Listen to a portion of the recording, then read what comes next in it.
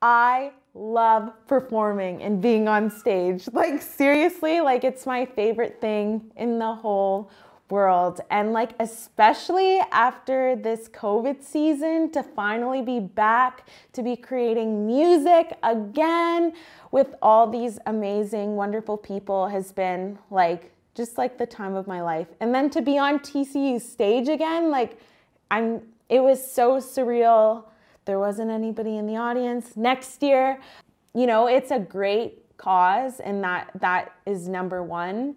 But the performance aspect of it too and, and getting to know all these like other artists in Saskatoon is is a huge benefit of music for the gut as well. Kiss today goodbye.